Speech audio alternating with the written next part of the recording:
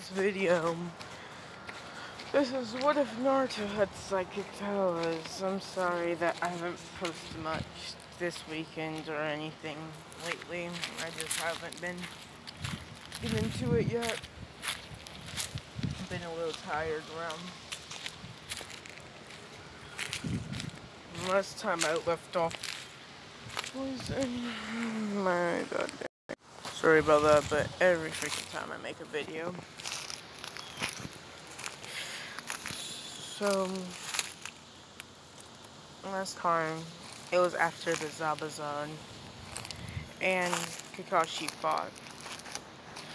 It ended about the same, but Naruto rescued Kakashi on his own, and they're at the bridge builder's place. Out the bridge builder's place. Give me a second, oh my god. I'm inside, or no, I'm in a car actually. But let's get this started for real now. Sofa's being annoying outside and it's very windy. Where do I put this where I don't have to hold it the whole time? Does this work? Yeah, that should work. Uh, you guys should still hear me. But left off after Kakashi and got rescued. And the training would start training would assist of, of them getting taught how to walk on trees. Of course, Naruto would try to skip it since he can technically, like, kind of fly if he wants to. Not like fly fly, but he can, like, hover and all that and move around in the air. But of course, she would still make him learn it, making him, but it's much easier for him to use it since he can stick to walls very easily by just grabbing the tree with his chakra. So he would just get it immediately. And walking on water, he would also do it very quickly. So yeah. So Kakashi would tell him to train whatever you want and all that. And that's what Naruto would do. Naruto would just chain his telekinesis and all that. And in the forest, that's about it. And during his training of training his lightning, I would say Haku would come up to him, seeing him swing his hand, releasing lightning everywhere. Which Haku would ask him how he does that. And Naruto would say that he was born with ability like these. And that it just comes with some practice to unlock it. And, of course, Haku would leave by saying, I'm actually a boy, and all that, and he would leave. Naruto would get back to the gang, and everything would go sort of the same. Whenever it's time for them to go to the bridge, uh, whenever Haku and them attack, Naruto would actually be there instead of being asleep. So whenever it happens, it'll be Haku versus Naruto. With Naruto being pretty matched with Haku in speed. Or, I mean, Haku would not, cannot match Naruto in speed. So he, of course, split with some and pretty much pummeled him a couple times. But Haku unleashed his Jutsu Ice Mirror thing, and it would activate, trapping Naruto inside and all that, or seemingly doing that, Sasuke would be trapped also. And that's whenever Haku would throw some bones, but it would be useless, Naruto would say to him, saying I can stop all your attacks, and pushing out his hand, one of the mirror mirrors would move out his way, and I can dispel your jutsu, or make it useless. Taking his hand, putting on one of the ice mirrors, creating flames. It would start melting it, but you see as it reforms, then he intensifies the heat until it break open.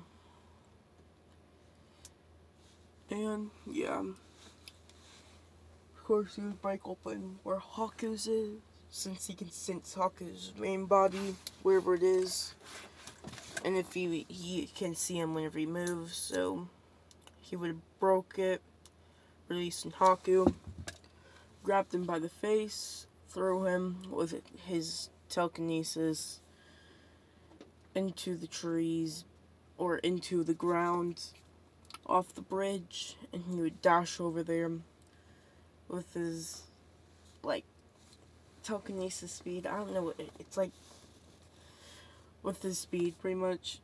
And he would throw his fist into his gut, which would beat Haku while breaking his mask. Seeing that as the dude that he saw yesterday. But that would be done. And he would go walking back to where where Kakashi and the are. Kakashi's battle would be going the same. But when it comes to the Chidori, what would happen is Haku would get up and body um body flicker, is that what it's called? Or, yeah, he would pretty much get all the way over there, stopping it like he did, dying, and the same thing would happen of him, or of Zabuza taking down the gang leaders and all that. And yeah, this is the end of this uh, battle, you could say. It would still be called Naruto Bridge, or Naruto Bridge, yeah, something like that. And yeah, they would be heading back to the Leaf Village. At the Leaf Village, they'd be informed that the Chunin exams would come up and that you guys were going to participate in it. So yeah. So of course, they asked if they want to go. Naruto and Sasuke would say yes, but Sakura or or Hinata would be a little confused, and she doesn't really want to go and all that. But of course, she would, since it's for Naruto in her mind. So yeah.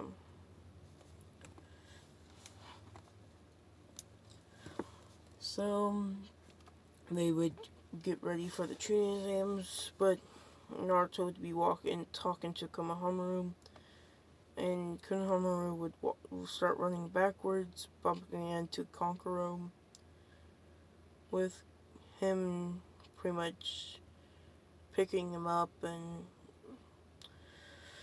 choking him, sort of, but Naruto would stop him.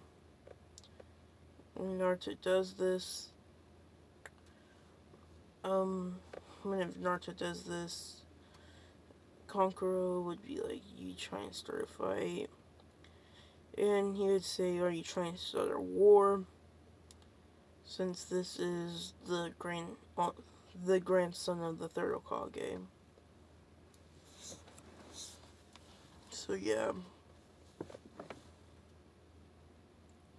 But of course, Gaara will pop out calling Kankuro a disgrace and would take him back. They'll leave with Gaara asking what Naruto's name is, and he would say Naruto Uzumaki. Gaara would say that he will remember that? Going off. But of course, everything would sort of the same until the Chunin exams, with the Genjutsu being up, but Naruto would disperse it by pumping out chakra from his body in one quick moment and it would automatically dispel everybody else's. fights and all that.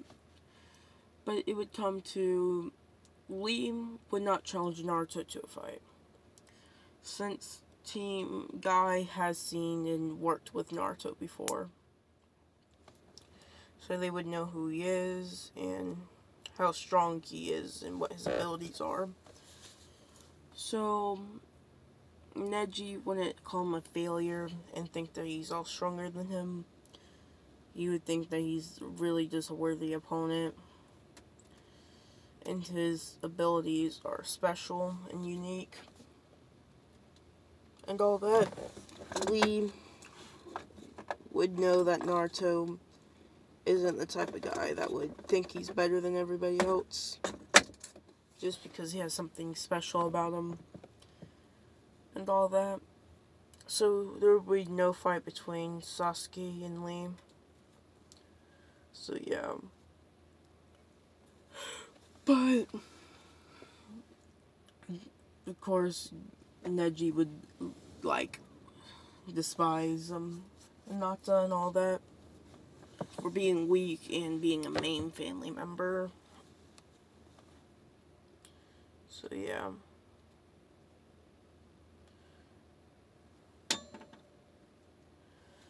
Of course, they would go to the sec or the first actual phase and all that, which will be the test.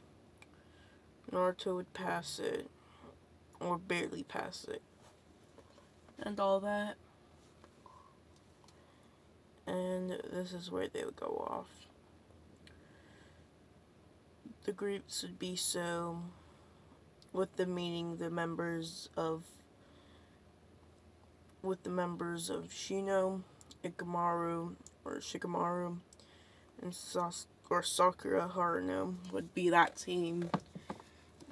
Pretty much switching out with Hinata from the main canon. But, of course, the second phase of the exam would happen. Just the same. And, yeah. This is where I'll probably leave it off. Sorry for like a short video, but it's only like three to two minutes. So goodbye.